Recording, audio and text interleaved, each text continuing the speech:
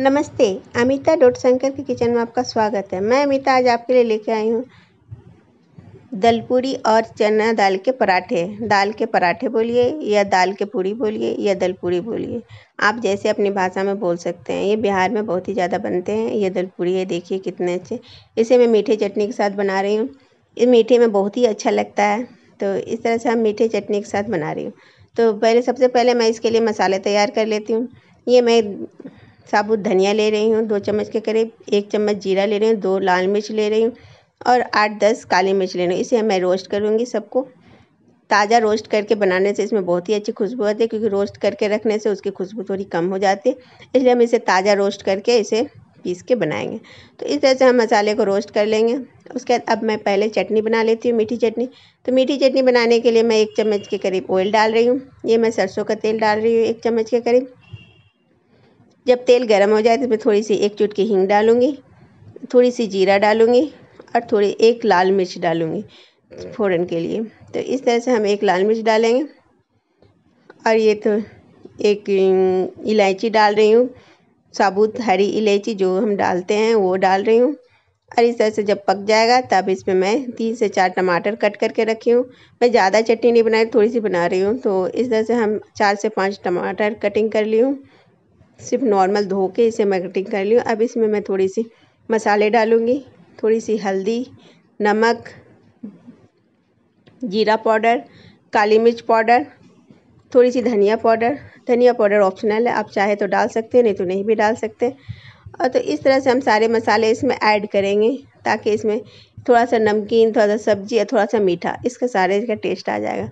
मैं यहाँ गुड़ से बना रही हूँ, चटनी, आप चाहे तो चीनी से भी बना सकते हैं या चीनी गुड़ दोनों ही से बना सकते हैं।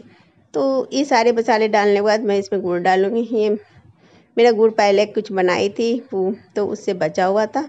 तो ये मेरा गुड़ बचा हुआ है तो मैं वही गुड़ डालूँगी। ये देखिए मेरा गुड़ पिघला हुआ है इसलिए तो इस तरह से मैं गुड़ डाल रही हूँ और थोड़ी सी एक एक वन बाई फोर्थ के करीब इसमें मैं गरम मसाला डालूँगी। तो इस तरह से हम सारे को मिक्स करेंगे और उसके बाद हम इसे पकाएँगे। इस तरह से सारे को मिक्स कर लें और थोड़ी सी इसमें पका लें। अब जब तक हम ये पक रहा है, ये दाल तब तक कर लेती हूँ। तो ये दाल देखिए मैं रात को ही भिगो के रखी थी ओवरनाइट चना की दाल, एक कप के करीब ये चना की दाल है तो ये भिगा हुआ है। तो इसे हम पहले तड़का लगा के सीटी लगाएँगे। तो इस तरह से मैं दो चम्मच के करीब ऑयल डाल रही हूँ। ये ऑयल जब गर्म हो जाएगा तो इसमें मैं थोड़ी सी हींग डालूँगी। इस तरह से ऑयल जब गर्म हो जाए तो इसमें थोड़ी सी हींग डालें। एक चुटकी के करीब ये एक चुटकी थोड़ी सी ज़्यादा हींग अगर आपका स्ट्रॉन्ग है तो कम डालें। और इसमें मेथी के दाने का मैं तड़का लगाऊँगी, जो कि मेथी के दाने का तड़का इसमें बहुत ही अच्छी लगती है। तो इस तरह से मेथी के दाने के तड़के लगाएँ इसमें। मैं आधा चम्मच के करीब मेथी के दाने ले रही हूँ। ये जब मेथी के दाने पक जाए इसमें तब इसमें दाल ऐड करेंगे, जो दाल मैं रात को भिगो के रखी थी। तो उसे हम इसमें डाल देंगे। इस तरह से दाल को डाल दें। दाल को थोड़ी सी भूने इसमें। इस तरह से दाल भून जाए। तो थोड़ी सी हम इसमें हल्दी और नमक डालेंगे इसमें, ताकि इसमें नमक अच्छा सा आ जाए और हल्दी से इसमें कलर अच्छा आएगा। और इसे हम थोड़ी सी पानी डाल के इसकी सीटी लगाएँगे हम।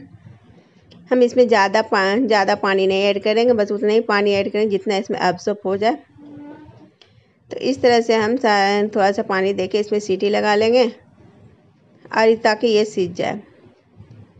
तो इस तरह से हम इसे सीटी लगा लेंगे। तो जब तक हमारा सीटी लग रहा है तब तक हम आटा को लगा लेते हैं ताकि आटा हमारा सेट हो जाए। तो इस तरह से हम, मैं यहाँ गेहूँ का आटा ले रही हूँ। इस तरह से दो कप के करीब गेहूँ का आटा है, जिसमें मैं थोड़ी सी नमक और थोड़ी सी अजवाइन डालूँ, क्योंकि चने की दाल थोड़ा पचने में प्रॉब्लम होती है तो इसलिए मैं इसमें थोड़ा सा पहले से अजवाइन डालूँ ताकि पचने में कोई प्रॉब्लम ना हो।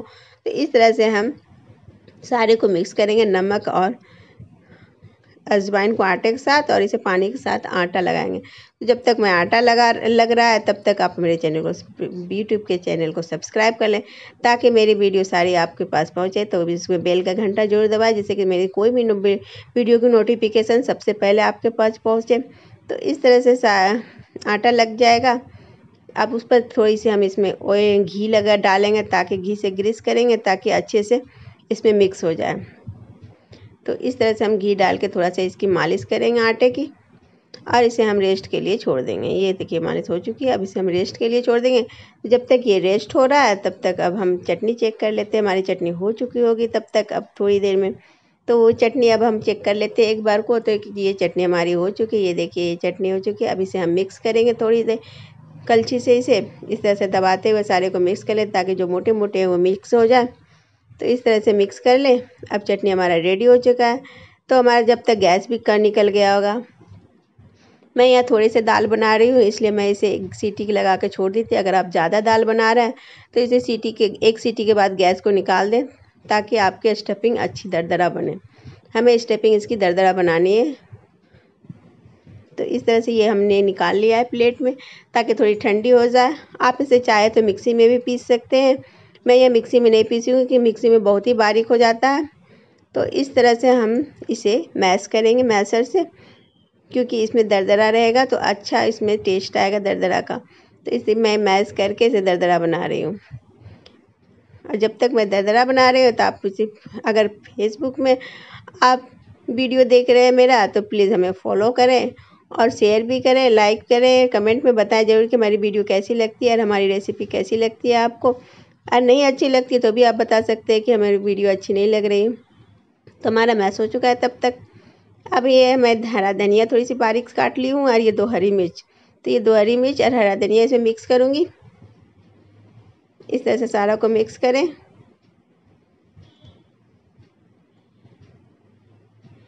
ये सारा डाल दी अब ये जो मसाले मैंने पहले से तैयार कर रखे थे, वो मसाले मैं इसमें डालूँगी इस तरह से।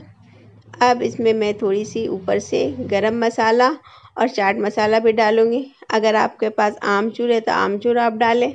मेरे पास आमचूर नहीं है, इसलिए मैं इसमें चाट मसाला डाल रही हूँ। अगर आपके पास आमचूर है तो आमचूर डाल सकते हैं। दोनों में से कोई भी एक डाल सकते हैं। तो इस तरह से हम मसाले डाल के अब नमक इसमें डालने की ज़रूरत नहीं, क्योंकि नमक हम पहले से इसमें डाल चुके हैं। तो इस तरह से हम, और चाट मसाले में हल्के हल्के नमक भी होती है तो नमक हम इसमें नहीं डालेंगे, क्योंकि मैंने बॉयल सिजाते हुए, सीटी लगाते हुए मैं नमक डाले थे तो इस तरह से हाथों से सारा स्टफिंग को अच्छी तरह से मिक्स कर लेंगे हम। तो ये स्टफिंग हमारा मिक्स हो चुका है। अब हम पराठे बनाएँगे। आटे को हमारा सेट हो चुका है तब तक। तब अब मैं आटे को थोड़ा सा मल लूँगी ताकि आटे इक्वली मिल जाए चारों जो साइड और इसे छोटी छोटी लोइयाँ में बना लूँगी, जिससे रोटी पराठे के साइज़ के।